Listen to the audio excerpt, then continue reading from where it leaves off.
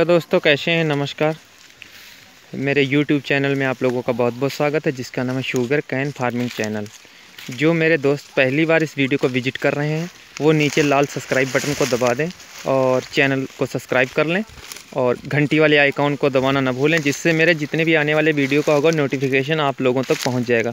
ये जो मैं आप दिखाने जा रहा हूँ मैं, ये गन्ने के टॉपिक पे वीडियो पूरा वीडियो देखिएगा मित्रों।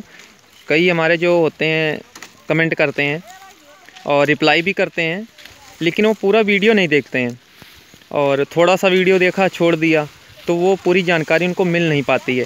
जब आप पूरा वीडियो देखेंगे, तभी मित्रों, लास्ट तक जानकारी आपको पूरी मिल पाएगी इन्फॉर्मेशन जिसको कहते हैं, मिल पाएगी। तो आप लोग पूरा वीडियो देखिएगा, शुरू से लेकर लास्ट तक। और कोई रिप्लाई या कोई मैसेज या कोई जानकारी पूछना चाहते हैं, आप रिप्लाई करें, तुरंत आपको आंसर दिया जाएगा। और कॉल पे भी आप लोगों को जानकारी दी जाएगी। कोई ऐसी बात नहीं है मित्रों। और और भी जानकारियाँ अगर आप चाहते हैं एग्रीकल्चर के बारे में तो मेरे आप चैनल पे चले जाइए। एक छोटी सी मैं आपको बता रहा हूँ, ये ट्रिक आप मेरे चैनल पे जाइए, सारे वीडियो देखिए, काफ़ी अच्छे वीडियो हैं। जब आप मेरे पूरे वीडियो देखेंगे, सारी जानकारी मिल जाएगी आपको। पूछने की किसी से ज़रूरत नहीं पड़ेगी आप लोगों को। ये जो वैरायटी है, बहुत ही अच्छी सक्सेसफुल वैरायटी जिसको बोलते हैं। ये जो वैरायटी ये दूसरे साल की फ़सल है, ये कटिंग जो हुई है, ये कोई पहले साल की नहीं है। ये एक बार कट चुकी है, दोबारा है। आप इसकी हाइट और लंबाई देखने की कोशिश करें, मैं आपको दिखाऊँगा। आप देख सकते हैं, ये यहाँ से देखिए।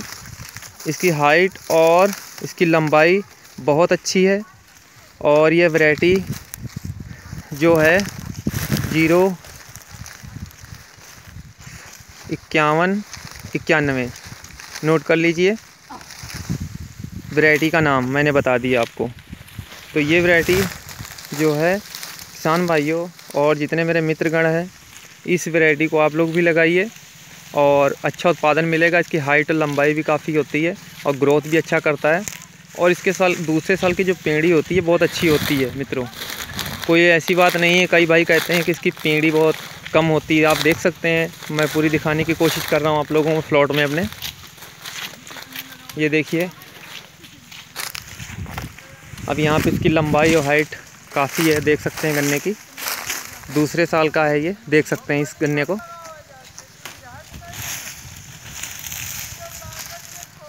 आप यहाँ पे देखिए, इस गन्ने की हाइट और देख सकते हैं आप यहाँ पे कि ये कितने फिट का गन्ना है। ये हाथों में लिए हुए हैं भाई जी, और ये फ्लॉट में इसकी कटिंग हो रही है। अब इसको रख दीजिए। देख सकते हैं आप। हाँ जी ये बताइए आप एक मिनट आपको मैं इंट्रोडक्शन करवाता हूँ। हाँ। ये जो है गन्ने की ये कटिंग है ये दूसरे साल की है? हाँ, बताइए। दूसरे साल का है हाँ? पेड़ी दूसरे साल का पेड़ी। पेड़ी है? हाँ, पेड़ी गन्ना है? हाँ पेड़ी गन्ना अच्छा वेराइटी इक्यावन इक्यानवे बता रहे थे आप। कौन सी है? इक्यानवे इक्यावन हो अच्छा हाँ इक्यावन इक्यानवे वैरायटी है देखिए। और देख सकते हैं। अगोला भी इसका हरा है, वज़न काफ़ी होता है मित्रों इसका। ये आप देखिए, यहाँ पे मैं पूरा फ्लॉट दिखा रहा हूँ, फिर मैं आप लोगों को जानकारी दूँगा इसके बारे में कि इसमें क्या क्या मैंने डाला था। जब ये पहले साल की जब ये कटिंग हुई थी, यहाँ पे देख सकते हैं। ये आप देख सकते हैं कितनी हाइट और कितनी लंबाई का गन्ना है।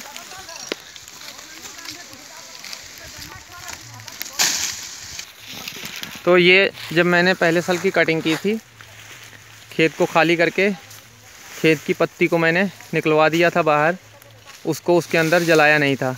मतलब कुछ मोटी मोटी पत्ती मैंने उठवा दी थी, बाकी पत्ती उसी में बिछा दी थी। और उसके बिछाने के बाद में मैंने पहला पानी दिया। पहला पानी देने के बाद में लाइनों में नोट कर लीजिए अब, सात के जी एक बीघे के लिए है, सात के जी नाइट्रोजन, जिसको यूरिया बोलते हैं हम, वो, और एक आता है, हेमेनो एसिड दानेदार। वो, दोनों को मिक्स किया। उसके बाद में मैंने लाइनों में इसको डलवाया था।